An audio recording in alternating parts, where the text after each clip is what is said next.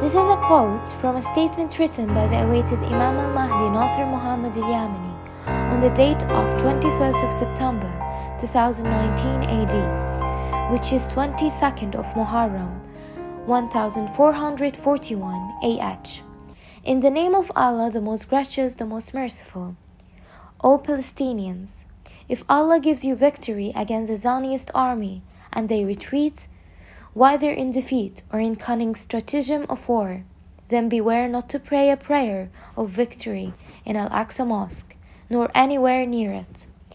That's because, in their plot, they have planted explosives underneath Al Aqsa Mosque a long time ago.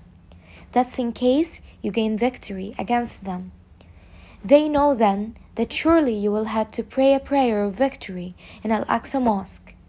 Then they will destroy it and utter destruction with explosives of dynamite planted underneath it, so they become shredded pieces. All those who pray a victory prayer after the Zionists have been driven away by defeat or by a cunning tactic.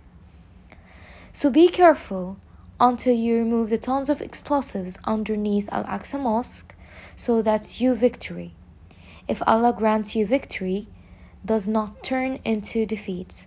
Don't dissent this order.